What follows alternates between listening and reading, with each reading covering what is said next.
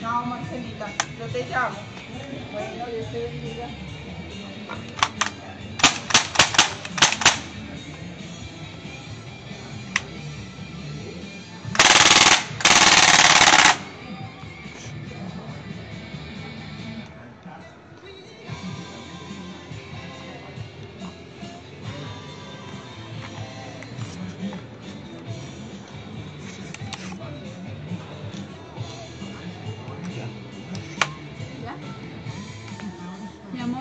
Del señor